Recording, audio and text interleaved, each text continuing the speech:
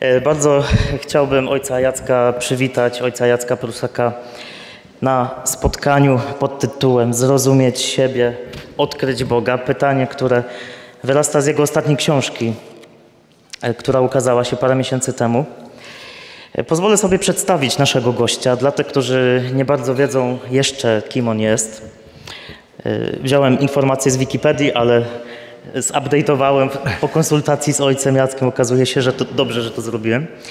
E, ojciec Jacek Prusak, urodzony 22 marca 71 roku w Przemyślu, e, jest księdzem katolickim, jest jezuitą, teologiem, psychoterapeutą, psychologiem, publicystą, doktorem nauk humanistycznych w zakresie psychologii, dyrektorem Instytutu Psychologii Akademii Ignacjanum i jest jeszcze członkiem Komisji Bioetycznej UJ-u. E, wiele różnych funkcji, wiele różnych możliwości. Bardzo się cieszę dzisiaj, że możemy Cię e, tutaj witać. Jeszcze raz brawa, żeby się poczuł dobrze.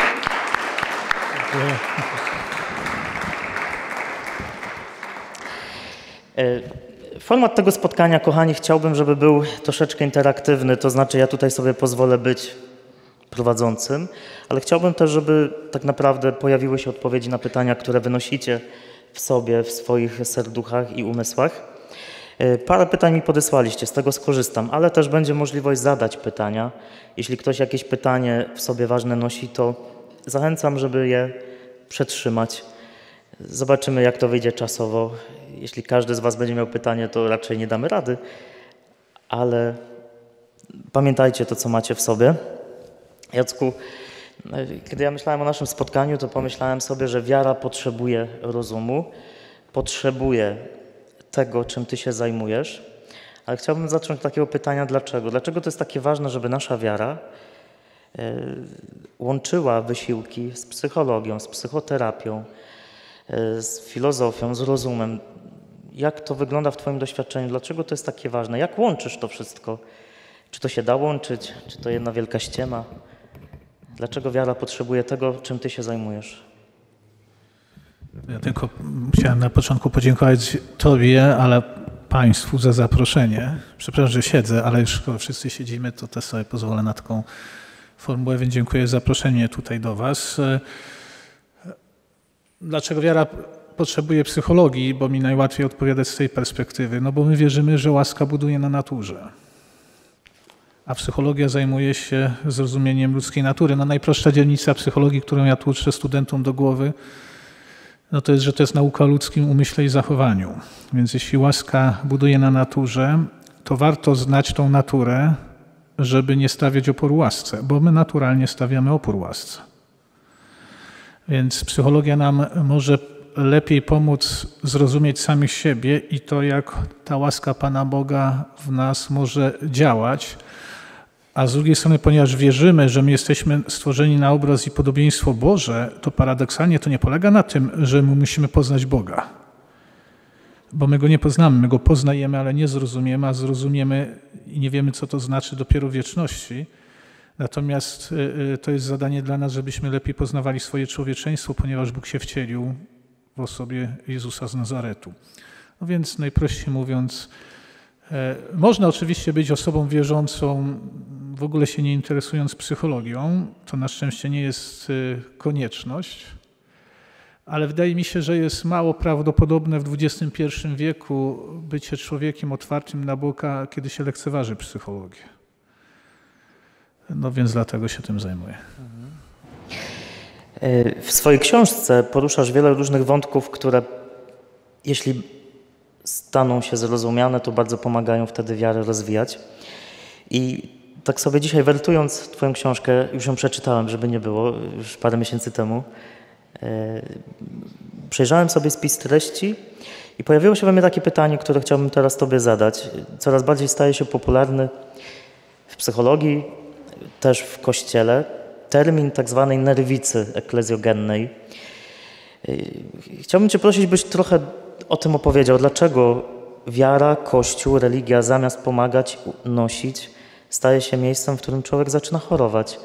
Nabawia się nerwicy. Wielu ludzi chodzi do kościoła i nabawia się nerwicy. Co z tym robić? Jak sobie z tym pojawić? Jak to widzisz? To jest rzeczywiście trudny e, e, temat, ale spróbuję e, no, tak najprościej jak potrafię na to odpowiedzieć. Nerwica to jest konflikt i nerwica to jest konflikt oparty na lęku. Jeśli kogokolwiek z Was wyuczono, bo na pewno to słyszeliście, tylko jest pytanie, czy Wam to wtłoczono do głowy, że Bóg jest sędzią sprawiedliwym, który za dobre wynagradza, za złe karze, to jesteście na najkrótszej drodze do nerwicy religijnej. To się wiąże z tym, że żeby mówić o Bogu w kategoriach osobowych, to my jesteśmy skazani na antropomorfizację Boga, bo nie mamy żadnych innych punktów odniesienia, a to, co mówimy o Bogu, jest zawsze metaforyczne. Ale teraz, tak jak trochę starałem się to dzisiaj właśnie na kazaniu y, y, powiedzieć.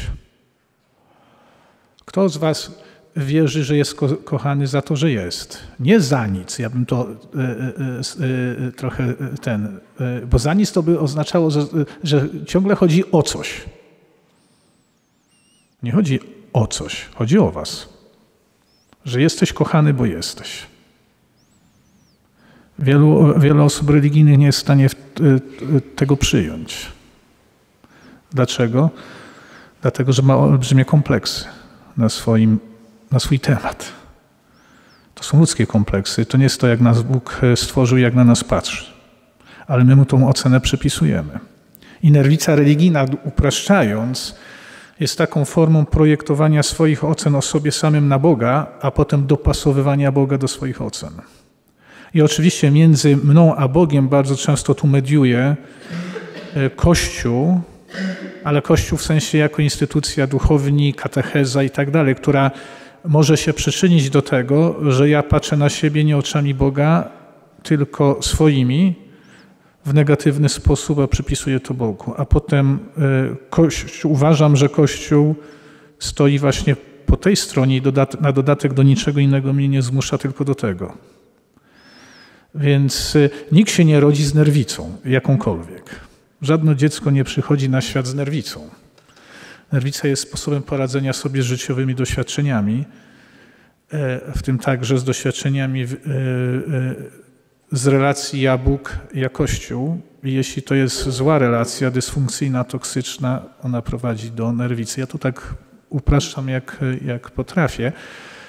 Ale no to się po prostu sprowadza do tego, że ja się boję Boga, ja się boję siebie.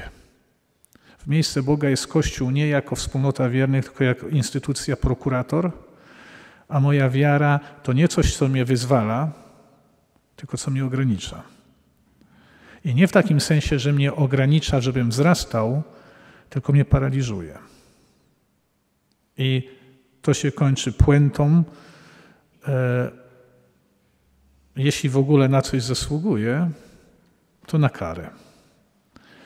E, a, je, a na czym wtedy ma polegać łaska? Że mi ta kara jest darowana. Tak, to jest dalej lęk. A więc to jest nerwica. No i teraz oczywiście taka nerwica religijna e, jest skorelowana mniej lub bardziej, ja to nie będę rozwijał, bo to jest, musiałby być wykład, z różnymi cechami osobowości. Nie wszystkie osoby w takim samym stopniu są na to podatne. Z drugiej strony Y, y, nie wszystkie, dzięki Bogu, będą miały nerwicę religijną, ale w polskim kościele jest sporo nerwic.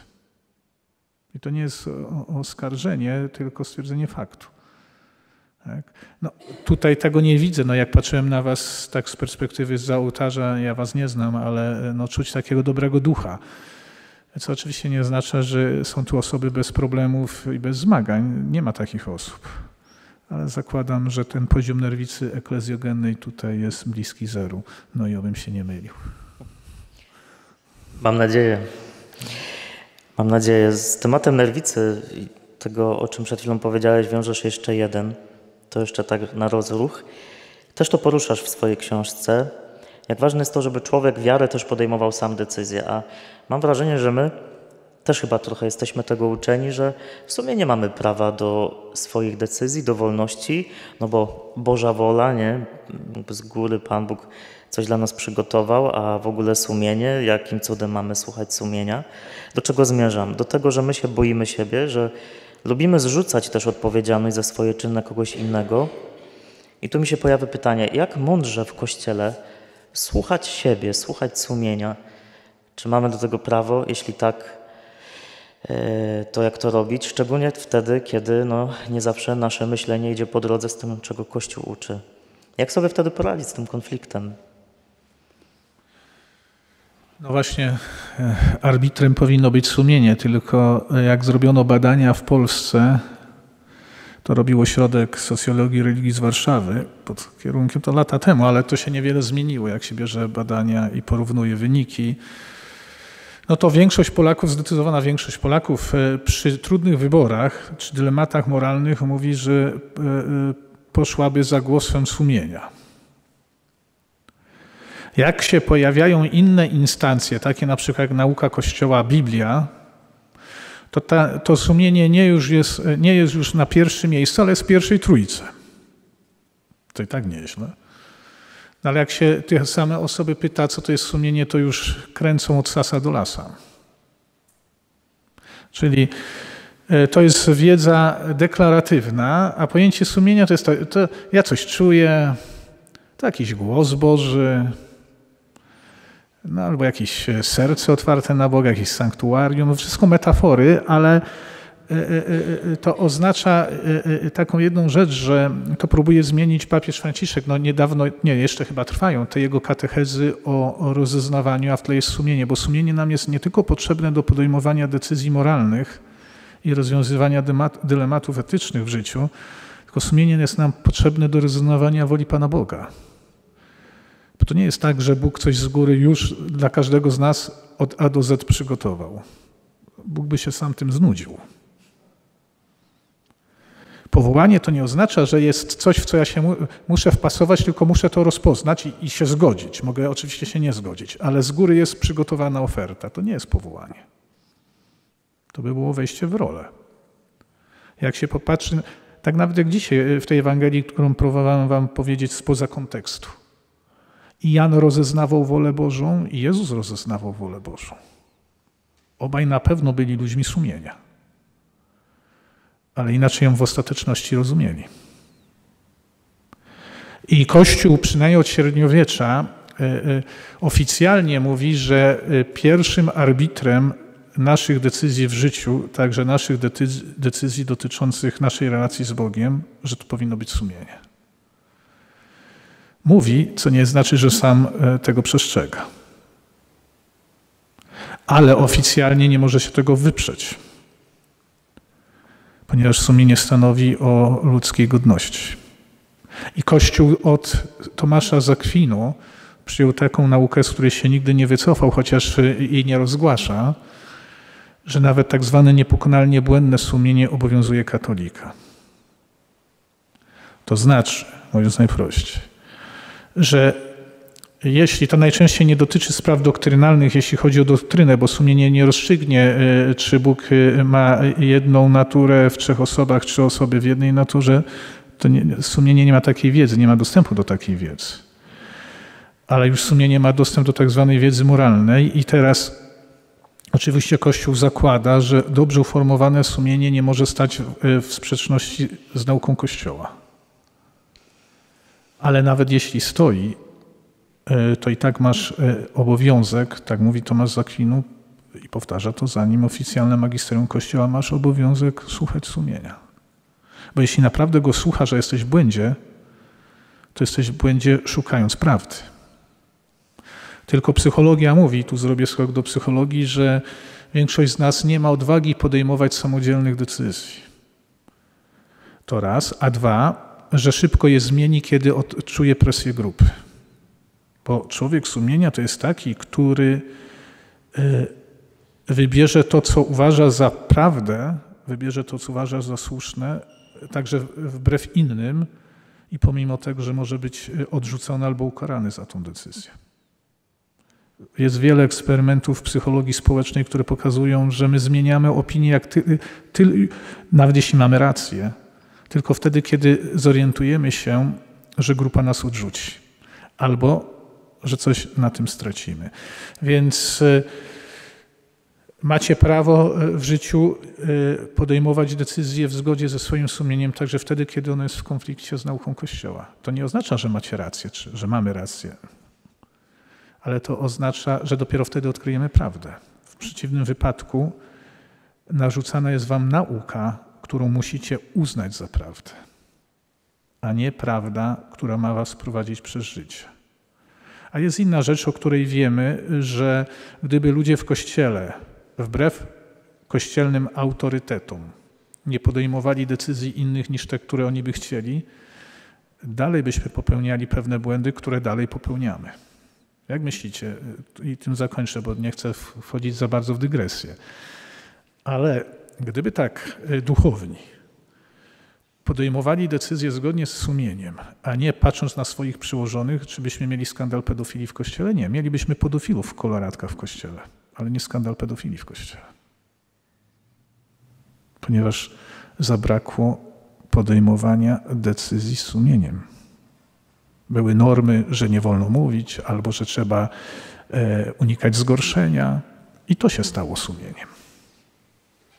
Że trzeba bronić kolegów, bo jak to wypada, to się stało sumieniem.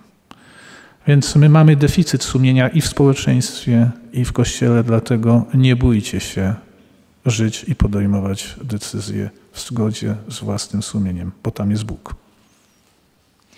Pozwolę sobie odejść już trochę od książki, ale nawiązałeś do pytania, które chciałbym postawić jako pierwsze z puli, które mi e, zadaliście które się odnosi do księży. To jedno z moich ulubionych, które się pojawiło.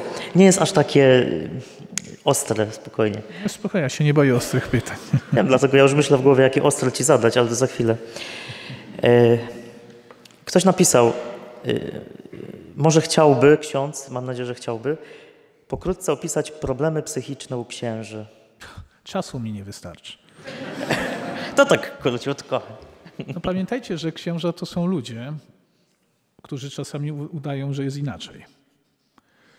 E, e, no, ksiądz po pierwsze wnosi e, w swoje kapłaństwo problemy, które nie rozwiązał wcześniej. Nie rozwiązał, bo je mógł w ogóle nie znać, albo nie potrafił je właściwie nazwać, albo nie miał odwagi się nimi zająć. Więc niektórzy mają właśnie taką fantazję, że powołanie właśnie to jest jakaś super łaska, która e, e, wyleczy ich z ich ludzkich dylematów czy problemów. Albo że sutanna czy habit przykryje ich człowieczeństwo. Więc e, to jest po pierwsze, ksiądz to człowiek, więc jeśli miał wcześniej problemy, to je po prostu ze sobą zabrał. Dwa, że potem jest uczony pewnej specyficznej roli, która obciąży go w podwójny sposób.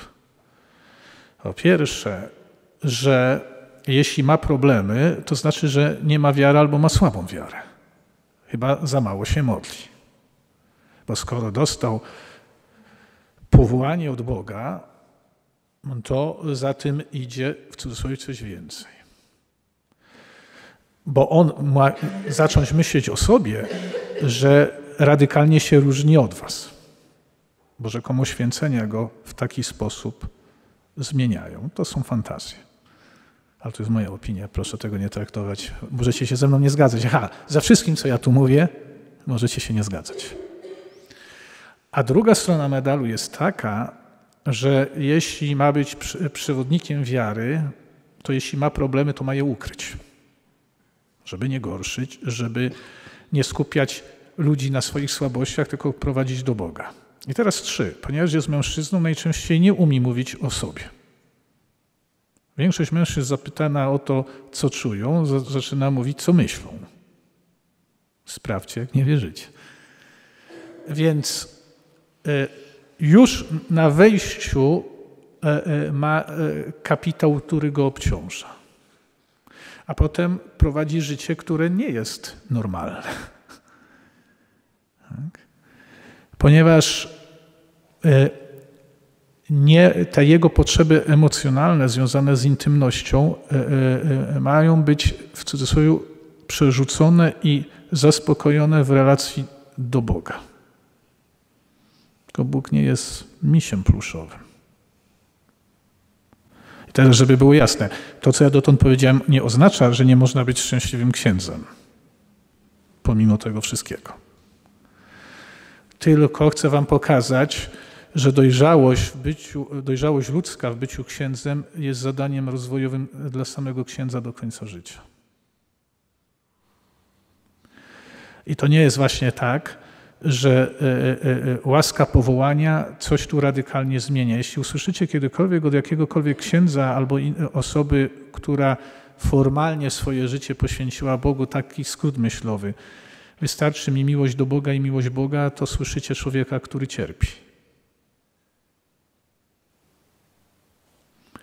No więc tak mówiąc pokrótce. Natomiast oczywiście potem y, y, są pewne problemy natury psychicznej związane z, z kapłaństwem jako grupą zawodową y, i, i specyfiką tego życia. I no oczywiście tu będzie depresja, tu będzie alkoholizm, tu będzie wypalenie zawodowe. Tak? Ale to już wynika nie z samych nawet predyspozycji psychologicznych poszczególnego duchownego, co ze systemu, w którym żyje i tego, że on może być dysfunkcyjny, y, jeśli chodzi o jego dobrostan.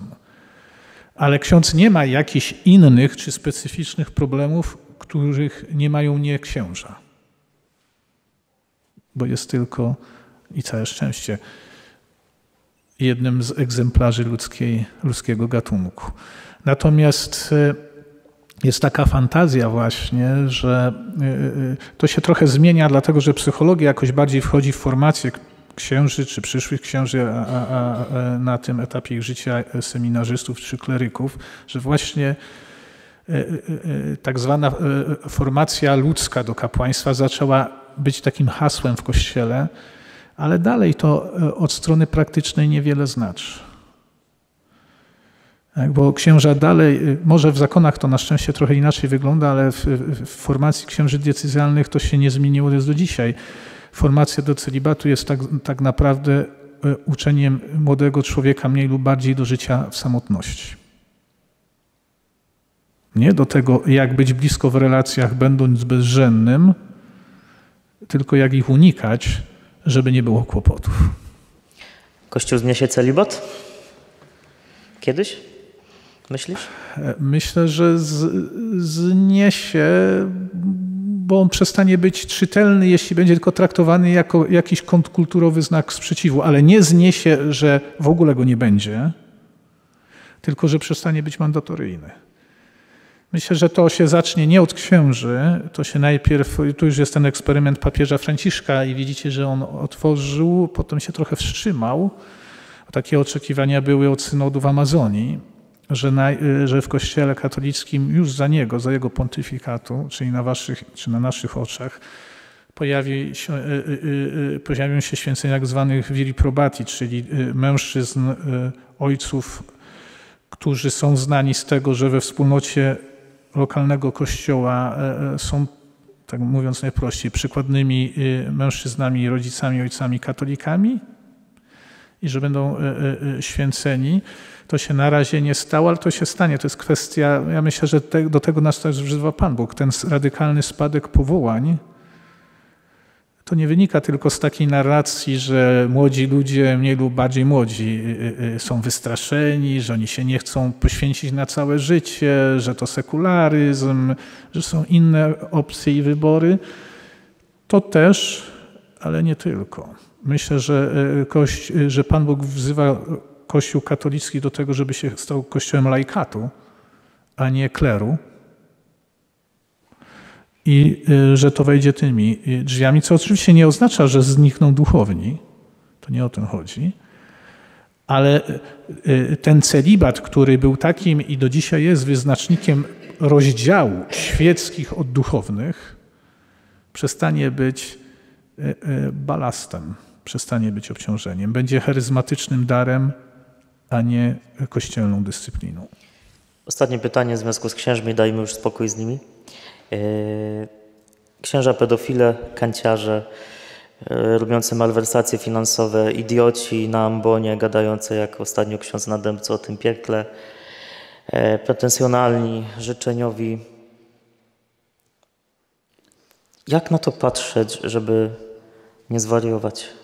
Jak, I myślę bardziej o perspektywie człowieka świeckiego, nie?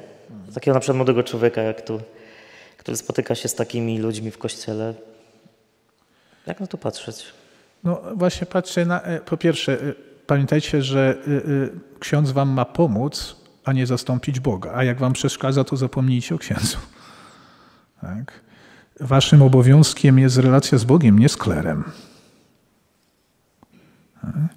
Ksiądz y, y, y, może mieć fantazję, że bez niego nie ma relacji z Bogiem, ale to jest jego pobożne życzenie, a ono nie jest pobożne, to jest jego fantazja, życzeniowe myślenie. Łaska wiary nie polega na tym, że pomiędzy tobą a Bogiem ma stać ksiądz. I bez księdza nie masz dostępu do Boga. Łaska wiary właśnie nie potrzebuje pośredników. Księża nie są po to w kościele Często po to, żeby e, e, czuwać nad tą łaską i jej towarzyszyć, a nie żeby ją zagarniać.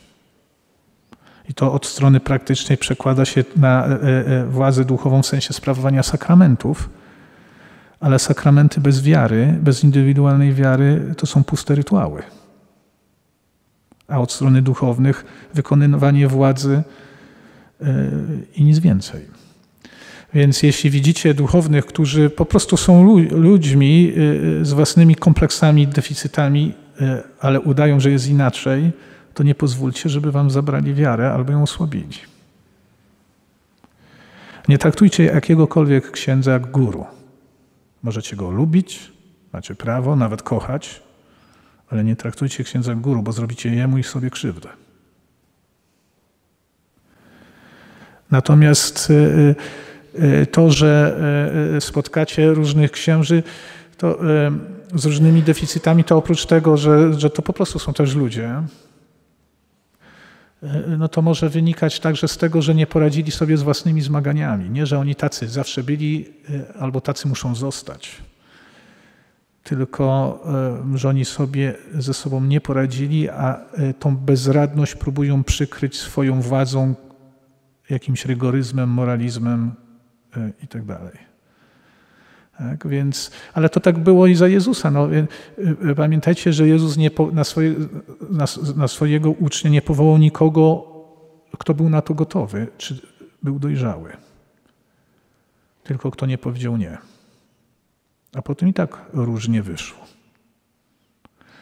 I tak jest y, i będzie z duchownymi.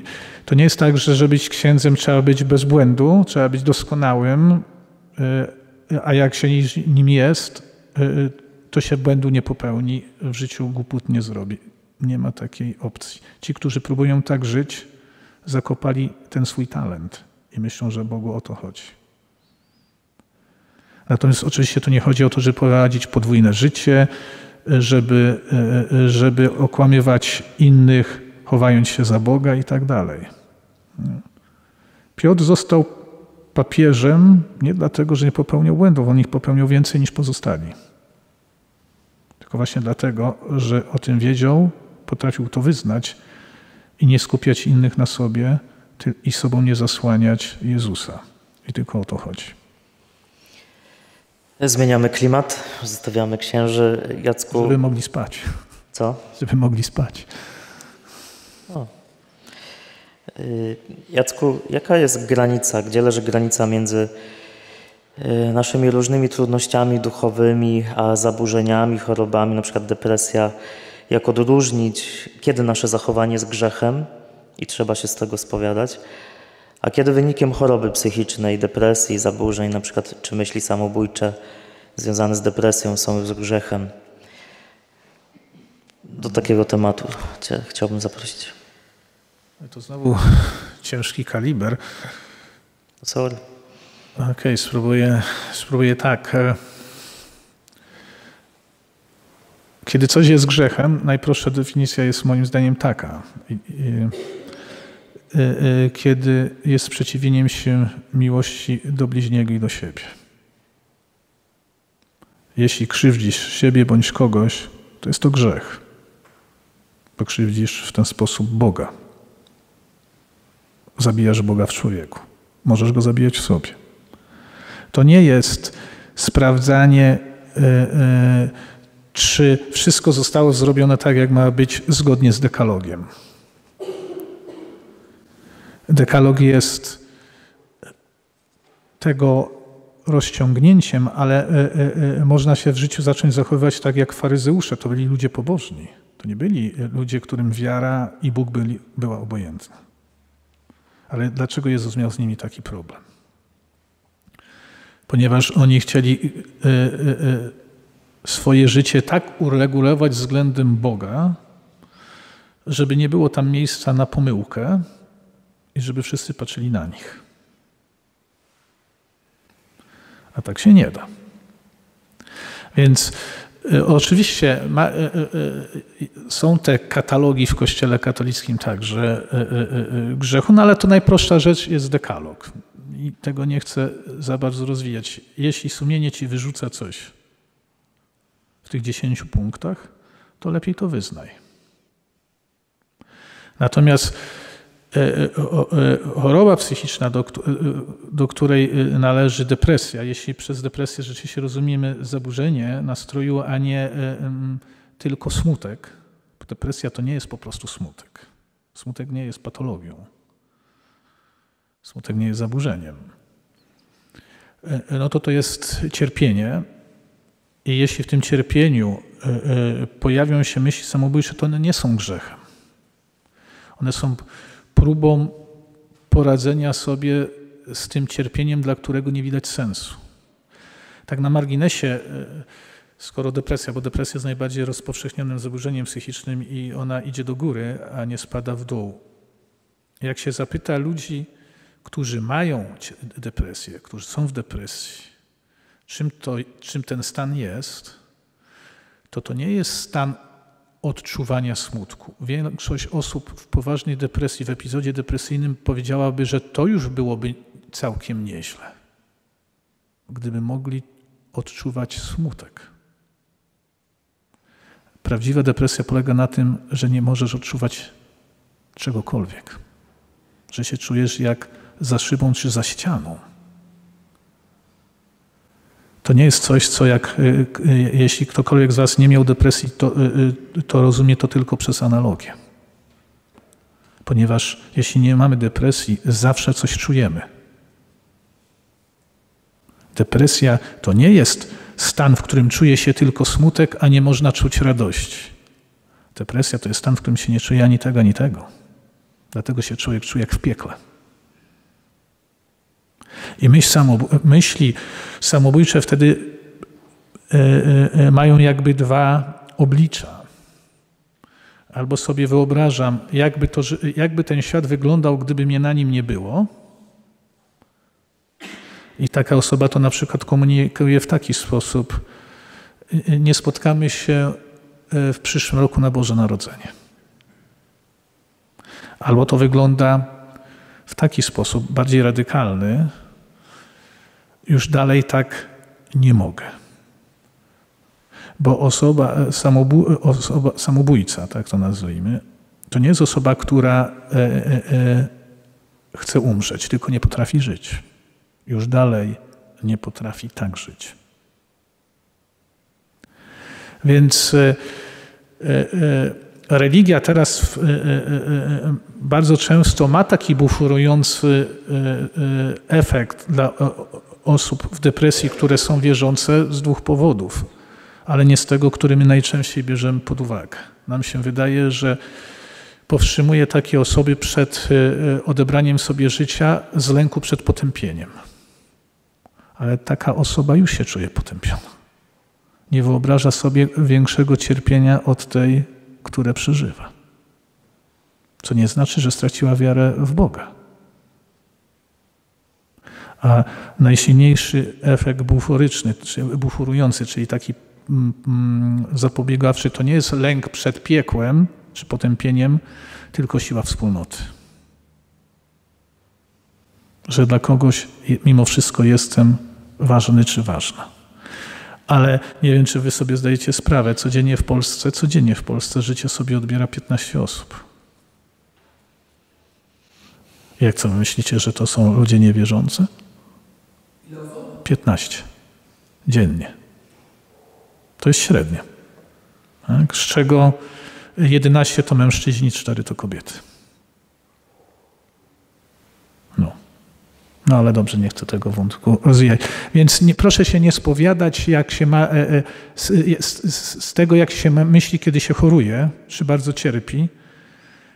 E, proszę szukać pomocy. I nie tylko ze strony Pana Boga czy Kościoła.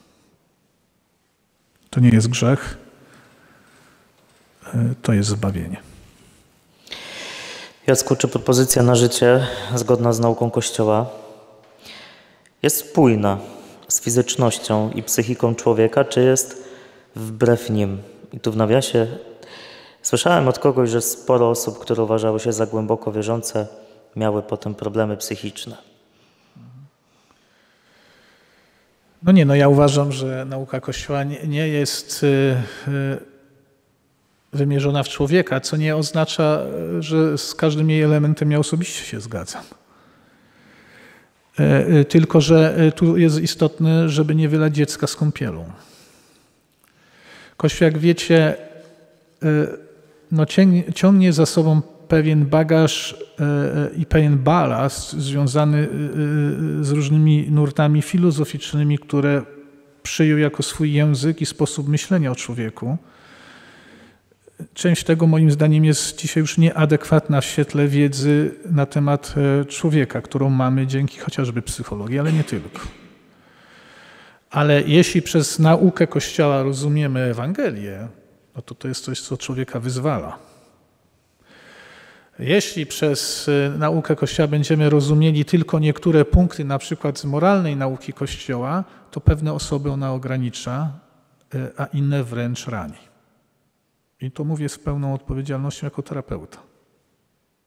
To nie znaczy, że e, Kościół tego chce, e, e, tylko że mam wrażenie, brak mu odwagi spojrzeć na pewne sprawy nie z perspektywy sprzed 2000 lat, tylko obecnie.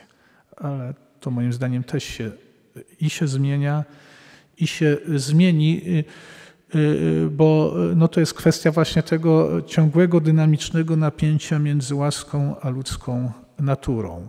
Natomiast jest inna rzecz, i tu muszę, żeby być sprawiedliwy także dla tego, co przed chwilą skrytykowałem.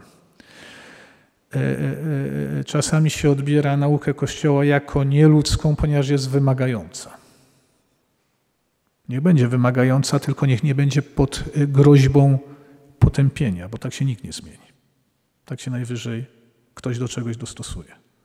Niech stawia wymagania, bo wymagania e, rozwijają. Ale to nie jest tak, i może tak zakończę, że najważniejsze w kościele to jest ludzka seksualność. Jezus nie miał tej obsesji, którą po nim mają jego uczniowie. Zwłaszcza e, celibatariusze. Jak się weźmie hierarchię i przykazań, i konstrukcję błogosławieństw, to to, co, gdzie my się dopatrujemy najcięższych grzechów, w ogóle Jezusa praktycznie nie interesowało. Trochę obecny papież w swoim stylu, jednych to bulwersuje, inni są mu za to wdzięczni, właśnie próbuje pokazać, że taka obsesja którą myśmy wnieśli do Kościoła, związana z ludzką seksualnością, jest ludzką obsesją, nie obsesją Boga. Boga nie obraża ludzka seksualność, bo od Niego pochodzi. Boga obraża seksualność, która nie jest powiązana z miłością. I Bóg się nie czerwieni z powodu ludzkiej seksualności. A to, że my pieśń nad pieśniami czytamy w kościele tylko raz w roku, no to to jest odpowiedź jak daleko jesteśmy do tyłu. Pomyślałem sobie, że my się boimy bardzo seksualności w kościele. Taki zakazany owoc, nie? Nie wiadomo, czy można to pomiziać, zjeść, polizać, nie wiadomo co, jak, nie? Znaczy, zadaniem Kościoła y, y, w kontekście ludzkiej seksualności jest przypominanie tego, że to jest dar i zadanie. I w sytuacji, w świecie, w którym y, seksualność stała się towarem, to ta nauka Kościoła dobrze, że jest i powinna być kontrkulturowa, tylko jeszcze raz, to nie chodzi o to, żeby człowieka straszyć. Większość ludzi, którzy, którym się wydaje, że obrażają Boga seksualnością, nie obrażają go seksualnością. Obrażają go brakiem swojego człowieczeństwa. Natomiast y, seksualność jest, y, y, to nie jest jakiś dodatek do ludzkiej natury, to nie jest przebranie. Dlatego musi być poważnie traktowana. W tym sensie ja zgadzam się z Kościołem, żeby tej rzeczywistości nie trywializować. Ale jeśli, ja pamiętam gdzieś, w którymś zresztą z tych tekstów, które pisałem, gdzieś to, to umieściłem, kardynał Belarmin, taka wybitna postać e, e, Kościoła, no, e, żył w takiej epoce, tak naznaczonej lękiem przed grzechem, że swoje, nie wiem, siostry czy kuzynki, dwunastolatki powydawał za mąż, żeby nie były narażone na grzech cielesny. Ja pamiętam, pamiętam, bo to czytałem, nie pamiętam, bo nie byłem tego świadkiem, ale jeszcze Olivier Clement, taki wybitny, już nieżyjący e, prawosławny teolog, który był bliskim przyjacielem naszego papieża. E, kiedyś z, nią, e, z nim miał taki długi wywiad, zresztą to się chyba ukazało w języku polskim, ale już nie pamiętam jak ta książka się nazywa. I on tak z papieżem Polakiem właśnie rozmawiał, czy nie warto byłoby w Kościele trochę zmienić tego nastawienia do seksualności, kiedy tak się zmieniły czasy, że ludzie współżyją ze sobą, zanim pomyślą na dobre, czy coś z tego na dłuższą metę ma wynikać. I czy nie warto by, nie zmieniając naukę Kościoła, mówiąc wszystko wolno, są inne ważniejsze rzeczy, tylko czy nie zrobić tego jako pewną drogę formacji. Że jak powiemy, nie wolno ci współżyć do momentu ślubu. A ten moment ślubu nie ma miejsca, kiedy ktoś ma 18 czy 20 lat, tylko 30 albo i więcej. To czym tak naprawdę jest to spowiadanie się między tym 18 a 30 rokiem życia z tego? Jest udawaniem. Bo ludzka natura nie pozwoli komuś żyć w celibacie, jeśli nie uważa, że do tego został powołany. Więc to, co ja chcę powiedzieć, to jest właśnie to, że Kościół musi, to, to się już pojawia w, na tej drodze synodalnej, że y, y, to trzeba jakoś przemyśleć, nie żeby coś zrelatywizować, nie żeby pójść na łatwiznę, ale żeby stawiając wymogi y, pokazać, że tu chodzi o coś więcej niż o zwykłe niewolności albo to jest grzech bo to przestaje być po prostu zrozumiałe. A widać to w takiej sytuacji, kiedy, i to, ma, e, to jest nasza już rzeczywistość, kiedy nawet wśród osób wierzących, nawet wśród katolików, zanim dojdzie do ślubu sakramentalnego, często e, żyje się tak, jakby to już był ślub, tylko bez kościelnego błogosławieństwa. I potem te osoby są pytane, no i co się zmieniło w Twoim życiu po ślubie? I one nie potrafią udzielić odpowiedzi, bo co się zmieniło? No nic się nie zmieniło. Tak samo się dalej traktują, jak się wcześniej traktowały. Jeśli sakrament małżeństwa sprowadzimy do kościelnej licencji na seks, to będziemy mieli właśnie takie odpowiedzi. A nie taka, że E, głęboko wierzę, że to, co się dzieje ze mną i między nami, jest sposobem, e, e, w którym Bóg jest obecny w moim i w naszym życiu, i dzięki temu się uświęcam. No, o to powinno chodzić. No więc różne rzeczy mamy przed sobą. Czy ktoś z Was ma jakieś pytanie? Teraz y, chciałbym Wam dać możliwość.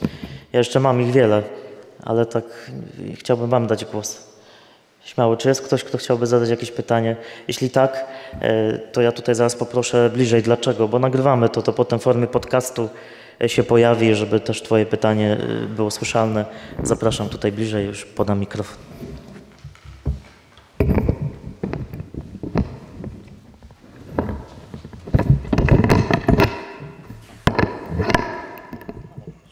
Mam na imię Artur, mam 42 lata. Zadałem sobie takie pytanie.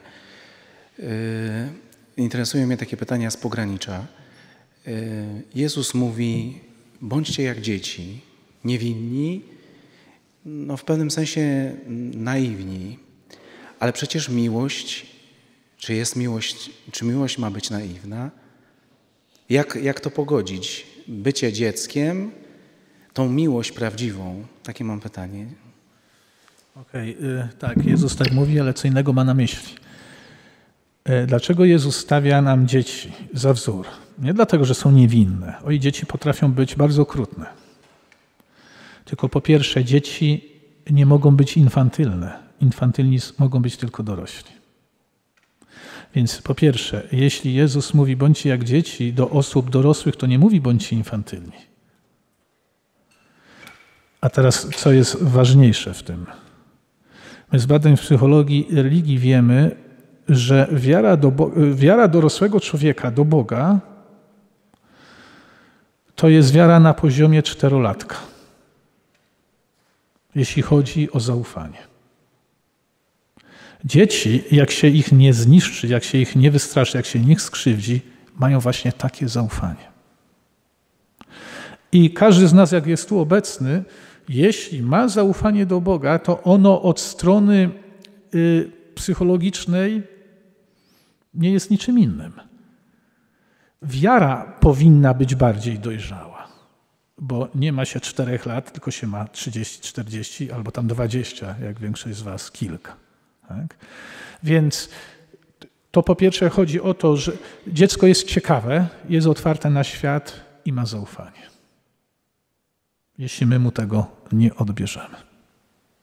I dlatego Jezus zachęca dorosłych do takiej otwartości, do, umysłu, do posiadania umysłu dziecka, nie eksperta. Bądź ciekawy, daj się zaskoczyć, ufaj. Natomiast nie mówi, bądź jak dziecko w sensie udawaj, że masz 4 lata, nie 40, bo to byłoby żałosne. A miłość ma różne oblicza. I oczywiście ten paradygmatyczny, paradoksalnie, to mówi psychoanaliza, ale się z tym zgadzam, że paradygmat ludzkiej miłości to nie jest y, y, y, miłość dwojga dorosłych ludzi do siebie, tylko rodzica do dziecka. Że my potem tą więź próbujemy odtworzyć w dorosłych relacjach, a nigdy nam się nie uda. Nigdy nam się nie uda. Więc bądźcie jak dzieci, puentując, to dajcie się pokochać i nie straćcie zaufania. Szczęść Boże. Proszę właśnie w kontekście tego, że tutaj właśnie tam Pani wspomniała tak właśnie o papieżach przed chwilą, jakby o obecnym papieżu i tak dalej, to właśnie miałbym to mogłem do księdza pytanie w takiej jakby kwestii, która jakby mnie osobiście pod kątem jakby podejścia do niej jako tako, jakby mam jakby wiele pytań, jakby jako tako mnie ona niepokoi, bo no właśnie w ostatnim czasie coraz to więcej jakby jest sporów, kontrowersji wokół reakcji Jana Pawła II na kryzys wykorzystywania seksualnego nieletnich w kościele, nie? Jakby są bardzo różne głosy, bo z jednej strony właśnie taki TVN właśnie wyemitował cykl reportaży pod hasłem Bielmo, gdzie właśnie te y, niedokładności były pokazane. Z drugiej strony właśnie pojawił się reportaż na TVP Pauliny Guzik pod tytułem Szklany Dom, gdzie taki trochę jakby biorący w obronę Jana Pawła II. Y, w sumie ja osobiście zetknąłem się z opinią, że y, papież mógł nie dowierzać w niektóre tego typu skandale i to mogło wynikać z tego, że Y, jak, że jakby jako kapłan w PRL-u był świadkiem rzucenia wielu niekorzystnych oskarżeń pod adresem księży, które były fałszywe i później jako papież mógł jakby w to nie dowierzać, ale tak do, ale tak do konkluzji przechodząc właśnie jak ksiądz myśli, jakby y, ogólnie właśnie jakby y, czy jakby czy zdaniem księdza papież w tej kwestii popełnił jakieś tam wyraźne błędy, a jeśli tak, to na jakiej płaszczyźnie i z czego mogły wynikać? Okej, okay. to znaczy tak. E, Jest pytanie, czy mówimy e, Wojtyła jako kardynał, czy mówimy Wojtyła jako papież. E, Wojtyła jako kardynał mógł popełnić te błędy, które widzimy wszędzie, bo ja e, nie zakładam, dlaczego Wojtyła miałby być, wy, wyrosnąć ponad, ponad przeciętność w, w sensie katolicyzmu globalnie. Nie ma w, na świecie diecezji, która poradziła sobie z tymi problemami. To po pierwsze, więc nie oczekuję, że nagle w Polsce znajdzie się taka diecezja, o której możemy powiedzieć, o ona wzorowo sobie z tymi problemami poradziła, bo jak nigdzie sobie z nimi nie poradzono, to dlaczego w Polsce? A niby dlaczego Polska miała być taka wybitna albo wyróżniona? Nawet jeśli mówimy o archidiecezji zarządzanej wtedy przez y, y, kardynała, który dzisiaj jest na ołtarzach. To po pierwsze. Po drugie, że mówimy o czasach, których i sprawca, i ofiara były rozpięte pomiędzy dwoma systemami. Jeśli sprawcą był duchowny, ofiara była z kościoła, co było po drugiej stronie? Nie było niezależnych sądów. Była komuna. Więc ja chciałbym, żeby Karol Wojtyła jako e, e, arcypasterz diecezji, w której sam e, żyje i pracuje, nie miał na sumieniu żadnych błędów. Ale gdy, jeśli zostanie to udowodnione, bo na razie to jest poszlakowe, że to miało miejsce, to ja się nie zdziwię. Tak? Po prostu dlatego, że na dzień dzisiejszy nikt mi nie udowodnił, że jest miejsce, w którym te sprawy były załatwiane tak, jak miały być załatwiane. Jeśli chodzi znowu o Wojtyłę jako e, papieża, no e, e, to no mówię, ja nie jestem watykanistą, nie chcę tu wchodzić w, w różne detale. Niewątpliwie on nie wierzył w zakres tego zjawiska. Wtedy, kiedy to się e, zaczęło dziać, ja byłem w Stanach Zjednoczonych. Ja e, e, tą rzecz przez trzy lata widziałem z ulicy. Ja mieszkałem tam, gdzie ten skandal wybuchł. I pamiętam reakcję w Ameryce, kiedy w Polsce to jeszcze był temat taki oto jakaś Ameryka za oceanem, to ten zepsuty kościół, zepsute społeczeństwo i tak dalej. Już dzisiaj dobrze wiemy, e, że to dotyczy problemu w całym Kościele, ale go dotyczy dlatego, że dotyczy struktury Kościoła. Nie poszczególnych osób, tylko struktury. Zawiodła struktura. Zawiódł klerykalizm. I teraz ile z tych oskarżeń, czy to do Wojtyły jako kardynała, czy do Wojtyły jako papieża, ile z tych oskarżeń uda się udowodnić, ja nie wiem, Wiem jedno, były popełniane błędy. Ale ponieważ one były popełniane globalnie, mm, w pewnym sensie nie wierzę, że sam Wojtyła mógł przerosnąć system, który jego samego uformował. Natomiast nie wierzę, że był nieczuły na te sprawy i po prostu e, interesowało go dobro księdza, a nie dobro ofiary. To już z tego, co wiemy, Y, y, y, nie w każdym przynajmniej przypadku, który mu się zarzuca, a ich nie ma na razie na szczęście tak dużo, to nie miało miejsca. Więc ja to rozstrzygnięcie tego Pana pytania wolę pozostawić historykom, ja nim nie jestem, ale mówię, że mnie to nie szokuje, jeśli to zostanie udowodnione, będzie mi tylko przykro. A mam nadzieję, że ucząc się na błędach, Kościół dzisiaj jest w innym miejscu niż był w tamtych czasach. Co właśnie nie, żeby dla was teraz, dla was młodszego pokolenia, które tu jest, nie było puentą taką, że e, e, okoliczności usprawiedliwiają błędy. Nie, bo ofiary były ofiarami wtedy tak, jak są teraz. I nie da się usprawiedliwić cierpienia ofiar komunizmem. Ja nie polemizuję z panią i, i, i ten, tylko e, żeby to tutaj wybrzmiało. ofiara księdza za czasów komuny, kiedy została zaniedbana, była podwójną ofiarą, tak jak jest ją dzisiaj, jeśli to ją spotyka. Jest tylko kwestia, abyście zrozumieli, że e, zaniedbania nie musiały wynikać ze złej woli, tylko z samego e, systemu. Natomiast no, mam nadzieję, że się to zmienia. Tylko jak sami widzicie, można zmieniać przepisy, jeśli się nie zmienia wrażliwość czy mentalność, to niewiele się zmienia. Jesteśmy tego świadkami ciągle. Pytania. Niedługo już lądujemy, ale jeszcze pytania.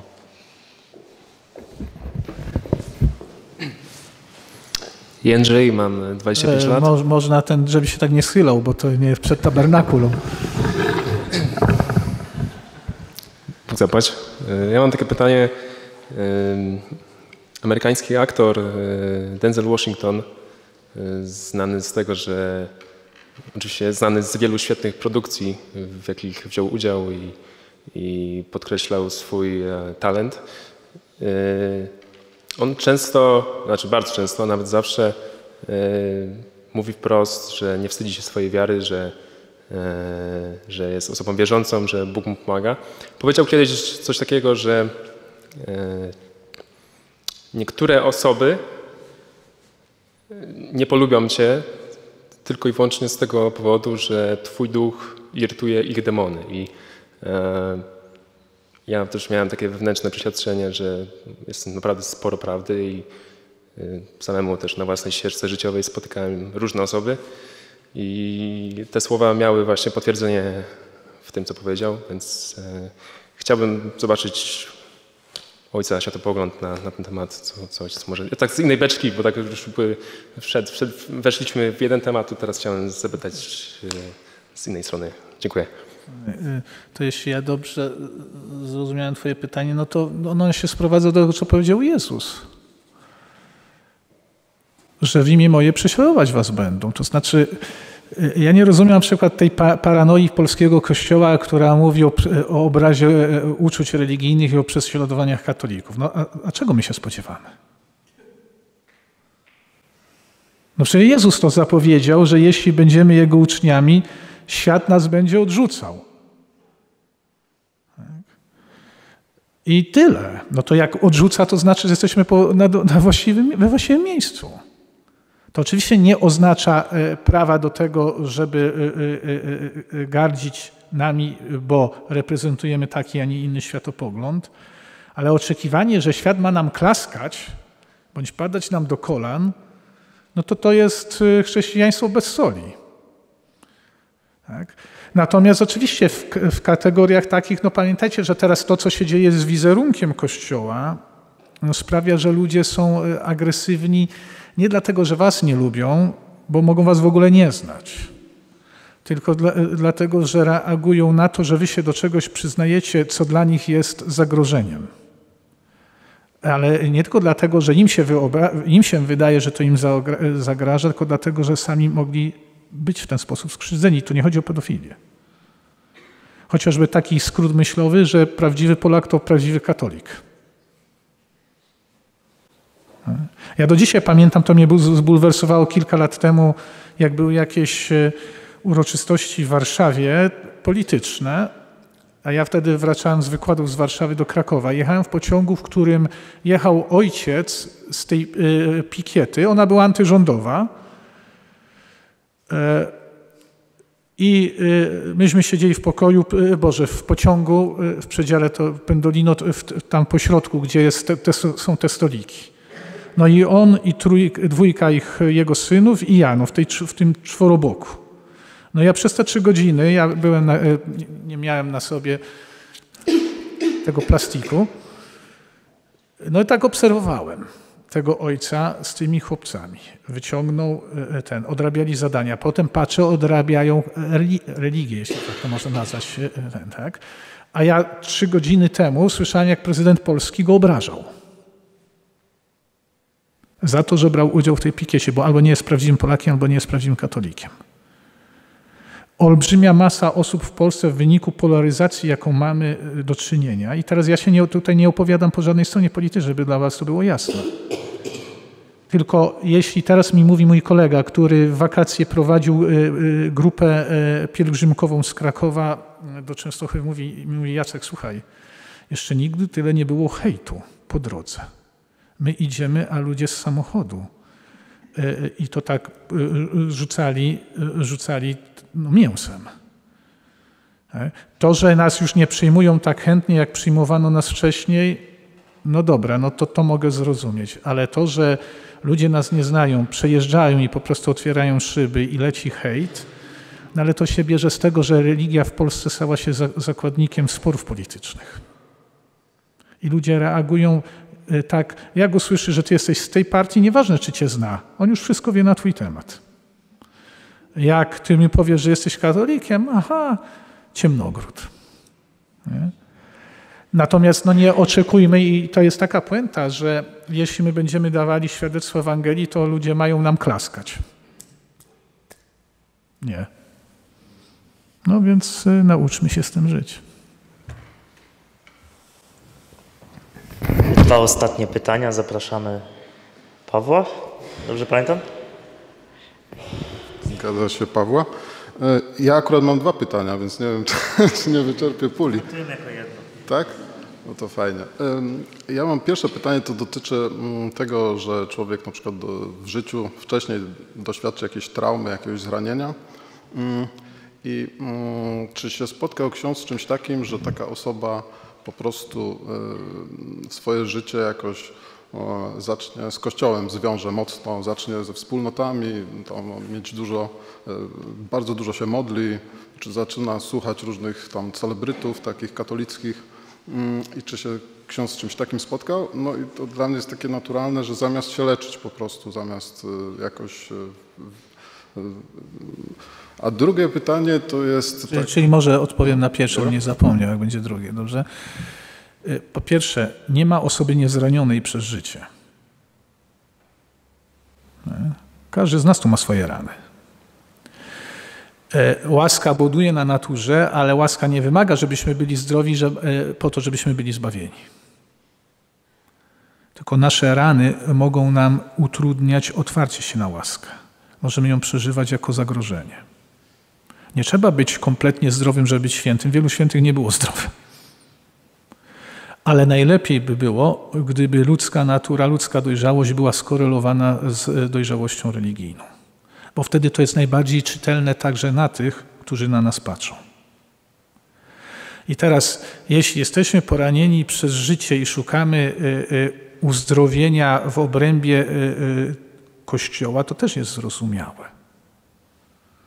Tylko, że czasami szukamy y, tutaj drogi na skróty. Na przykład wiele osób myśli o y, tak zwanym wewnętrznym uzdrowieniu, jak o wyczyszczeniu y, przez Boga swojej pamięci. To tak nie będzie, bo jakby ci Bóg wyczyścił pamięć, to byś nie wiedział, kim jesteś. I teraz Jezus po zmartwychwstaniu co? Nie miał blizn? Miał bliznę. Ślady po ranach. Ma je do dzisiaj. I mieć będzie na zawsze. To y, y, chodzi o to, żeby uszanować porządek y, wiary i natury. Psychologia nie zastąpi wiary, ani psychologia nie zastąpi religii. Religia nie musi w psychologii widzieć konkurenta, a tym bardziej wroga. Ostatnio papież znowu przypomniał coś, co każdy z nas powinien pamiętać, że formuła katolicyzmu to jest i i, a nie albo albo. I jedno i drugie. Jeśli może, korzystaj ze wszystkiego, co może ci pomóc być lepszym człowiekiem i bardziej otwartym na Boga. Natomiast może być taki skrót, że ludzie boją się wejść, bo psychologia, bo psychoterapia na przykład wymaga konfrontacji ze sobą. I to jest trudne. Więc niektórzy mają fantazję, ja pójdę na mszę o uzdrowienie i to ma wszystko załatwić. Czasami załatwi, ale to będzie specjalna interwencja Pana Boga. W większości wypadków z moich i nie tylko moich doświadczeń to tak nie działa. Więc korzystajcie z jednego i drugiego i to jest odpowiedź na Pana pierwsze pytanie. A drugie pytanie dotyczy takiej tęsknoty niektórych osób za doświadczaniem cudów. Czyli chodzi mi o coś takiego, że no bardzo fajnie się słucha różnych świadectw, że ktoś e, tam e, stoczył e, walkę z siłami zła, jakoś modlitwy tam miały miejsce i on zwyciężył. No. Mm, I o co mi chodzi? Mm, czy jest jakiś test, takie rozróżnienie, że czy mamy do czynienia z rzeczywistym jakimś człowiekiem, który doświadcza jakichś zjawisk nadprzyrodzonych, a takim człowiekiem, który tylko no, ma taką fantazję, czy wręcz no, to jest jakieś tam zaburzenie psychiczne. No dziękuję. No to kwestia jest y, y, y, trudna, choć równocześnie prosta. Kryterium Jezusa jest takie: po owocach ich poznacie. Po owocach ich poznacie. Natomiast czy istnieją e, obiektywne kryteria? Takich nie ma. Ponieważ jeśli chodzi o rzeczywistość wewnętrzną, my do niej nie mamy bezpośredniego dostępu. Czy to jest od Boga, czy to jest tylko ludzkie? Ja napisałem, o, pisałem o tym doktorat i doszedłem do wniosku, że nie ma prostego rozwiązania. Tak? Natomiast y, nie chodzi o to, y, gdyby wszystko było o takie, oparte na nadprzyrodzonych zjawiskach, nie, człowiek by nie potrzebował wiary. Uwierzyłby w siebie. Mistycy mówią, że w ogóle, a Jan od Krzyża to nawet poszedł ostro pod ścianę, powiedział, jak się zaczniesz tym, tym zajmować, to się cały czas zajmujesz sobą. To, co nas zbliża do Boga, to nie są nadprzyrodzone fenomeny, tylko wiara. Więc e, e, im coś jest bardziej spektakularne, im bardziej jest podkręcane jako e, takie właśnie ten, tym bardziej jest problematyczne. Im jest prostsze, bez show wokół tego, tym jest większe prawdopodobieństwo, że to pochodzi od Boga. Ale ostateczne kryterium to jest takie, po owocach ich poznacie. I teraz y, y, y, te owoce mogą się pojawić u ludzi chorych, i te owoce mogą się pojawić u ludzi zdrowych. Bóg nie jest uzależniony swoją łaską od naszego stanu zdrowia, ani fizycznego, ani psychicznego. Więc e, tak e, gwoli ciekawostki, to z, z, własnego zakonu. Nie, w tych samych czasach, w których żył Ignacy z Loyoli, założyciel jezuitów, w Rzymie żył też święty Filip Neri, założyciel oratorianów, takiego zgromadzenia książ. Ten Filip Neri chciał wstąpić do jezuitów, ale osobowościowo zupełnie się różnił od Loyoli i ten nigdy mu na to nie pozwolił. Neri był ulubieńcem Rzymu. E, e, Loyola e, był smutny, obsesyjny, on miał taką strukturę psychiczną, a tamten to był wesołek. Wesołek. Obaj są święci. Obaj są założycielami zakonów. Obaj byli doradcami papieży i kardynałów. I kiedyś ulubieńca Rzymu, Filipa Neri, y, y, zapytali ludzie, co by zrobił, gdyby nie wiedział, co ma zrobić. On powiedział, poszedłbym po radę do świętego Ignacego. No nieźle. Ale najciekawsze było to, co dopowiedział. Po zasięgnięciu jego rady zrobiłbym dokładnie na odwrót. A? Jeszcze raz, kierujcie się sumieniem, i bądźcie otwarci na Boga.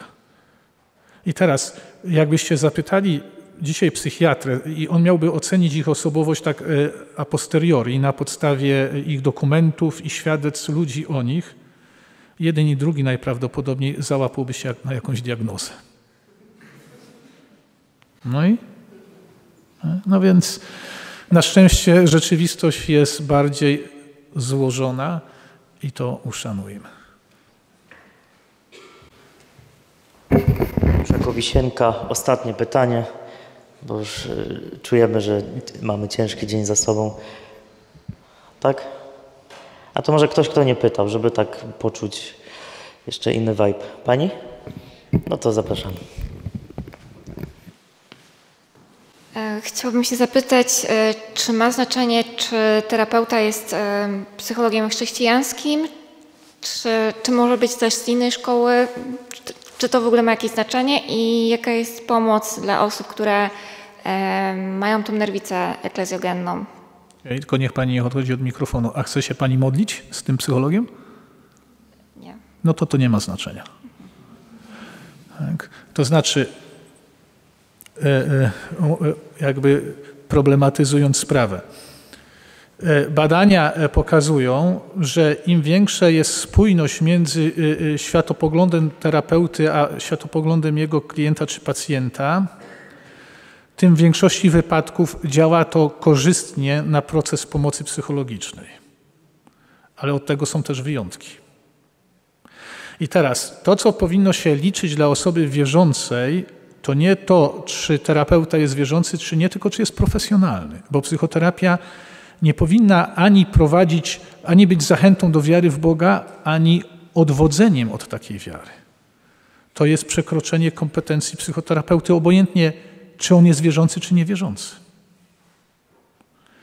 Większość ludzi y, y, religijnych ma lęk przed y, terapeutą, jeśli nie wiedzą, czy on jest wierzący, czy nie, nie z powodu przekonań, tylko wartości.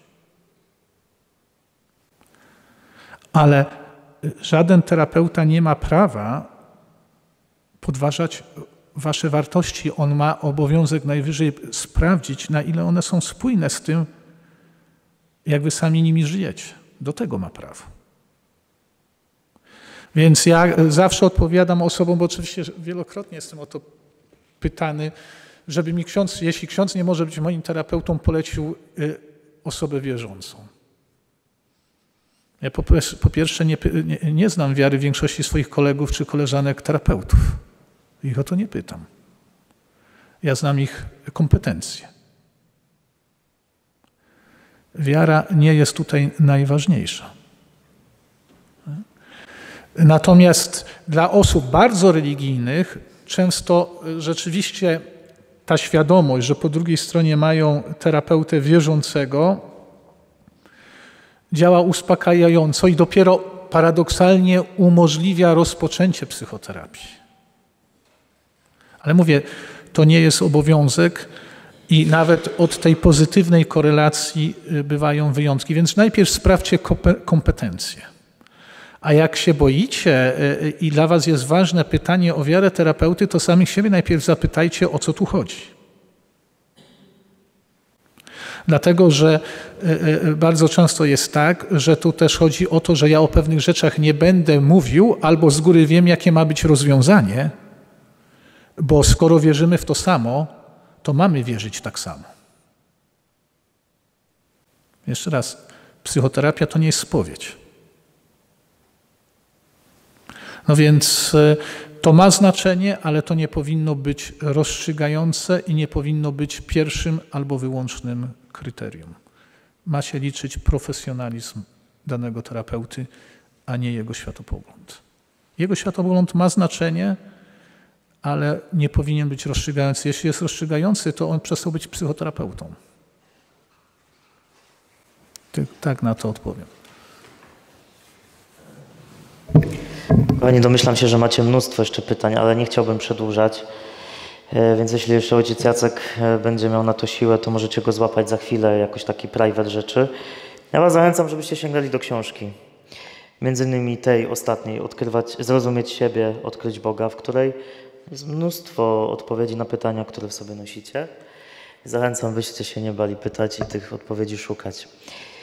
A Jacku, a Tobie za dzisiejsze spotkanie, za czas, za to, że Ci się chciało 5 godzin tłuc z Krakowa tutaj. Dzięki. No i po prostu dzięki. Brawa.